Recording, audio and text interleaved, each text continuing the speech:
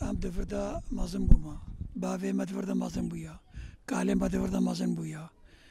Af haniyana ke khanye marbin af daman. Khanik mruchak yak, دو افس سه او چار چار خانی مفشخ خوچه کرنا ایرو شفدرم رکو جیگو زار متنینا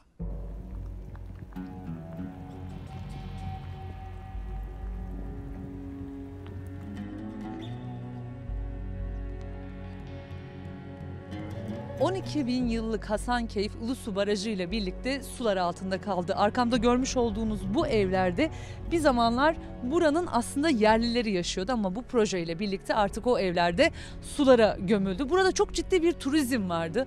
O turizm de artık şu an itibariyle bitmiş durumda. Peki buradaki insanlar ne oldu? Buradaki insanlar hemen karşı tarafına yapılan artık evlerde yaşamaya başlayacaklar ama birçoğu bu durumdan memnun değil. Yerleşim yeri olarak bir çölün ortasına koydular. İnsanların e, yaşamını hiç göze almadan parayla satın aldılar insanları. Bir tarih yok etti de resmen. Peki ne kadara gitti buradaki evler bir bilginiz var mı? Parayla ilgili bir bilgimiz yok. Değişen şeyler var. Mesela? Ağaç başına para alanlar var. Ev başına para alanlar var.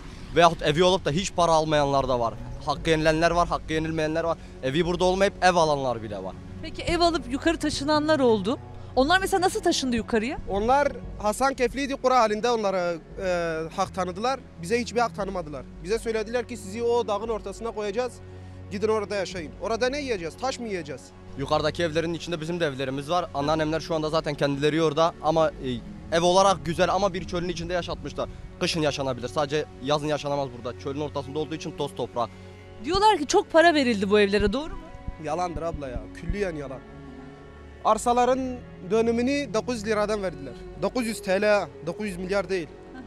Verdiler sonra yine mahkemeye verdiler. Dediler ki fazla almışsınız. Paranın yarısını yine- bize verin. Mahkeme tarafından bütün parayı da aldılar. Kim aldı?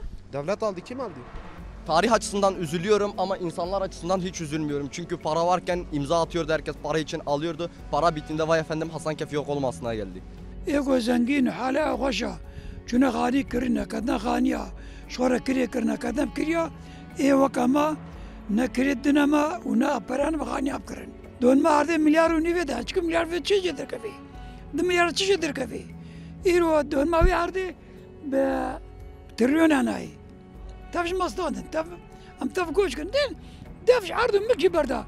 Cî de heban ama cîmetin na. Em ku veçim. Ha ha. Ne xanî bikirî ez bikevmî.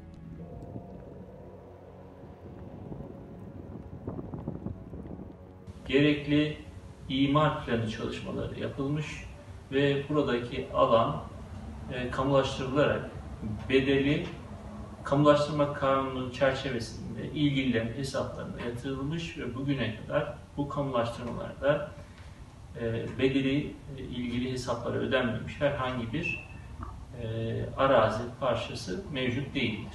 2013 yılında yapılan sayımlara göre 530 civarında hane bulunan Hasankeyf eski yerleşkesi yeni yerleşkeye taşındığında kamu görevlileri dahil olmak üzere 530'dan şu anda 850 civarına yükselmiş bulunmaktadır. Dolayısıyla eski Hasankeyf yerleşkesindeki hane sayısından daha fazla hane şu anki alanda bulunmaktadır. Burada Hasankeyflilerin e, hanelerini taşımaları e, sonrası e, bir kısım vatandaşların kanunun öngörmüş olduğu kriterleri taşımaları dolayısıyla e, kendileri için ev talepleri de söz konusu olmaktadır. Bunlarla ilgili olarak e, kendilerinin arazi bulmaları ve imar e, uygulamalarına uymaları kaydıyla e, ev yapmalarında, ev edinmelerinde herhangi bir şu an için sakınca bulunmuyor. Burada hanelerin neye göre dağıtılmalarına ilişkin olarak iskan kanunumuz ve onun uygulama yönetmeliği e, belirleyici durumdadır. Bu kanun uygulaması da Hasankeyf'te yeni yerleşimde hanelerin yeni yerleştirilmesi, hak sahiplerinin belirlenmesinde yine kullanılmıştır. Bu manada kendilerinin hak sahibi olmaları gerektiği halde hak sahibi olamayan vatandaşlarımızın e, Türkiye Cumhuriyeti bir hukuk devleti olması hasebiyle e, devletimizin mahkemelerine davalar açılmış e, ve bu davalar neticelenmiş. Hak sahibi olanlarla ilgili olarak da kendilerine borçlandırılmak suretiyle haneleri verilmektedir. Bu manada e, hak kaybı olduğunu düşünen vatandaşlarımızın Anayasa Mahkemesi dahil olmak üzere bütün hakları saklı olup 2013 yılından bugüne kadar bu hakların kullanılmasına dair herhangi bir kısıtlama söz konusu değildir. Bu konuda mahkemelerce verilmiş kararlar da yerine getirilmektedir. Hasankeyf'e yapılan bu barajın ardından oradaki insanlar evlerini boşaltmak zorunda kaldı ve Hasankeyf'in hemen karşısına da yeni bir yerleşim alanı inşa ediliyor. Arkamda görmüş olduğunuz bu evlere insanlar yerleşmeye başladı. Yine aşağıdaki yapıların benzerleri de burada kuruluyor aslında. Şu görmüş olduğunuz cami de buranın ambiyansına uygun olarak inşa ediliyor.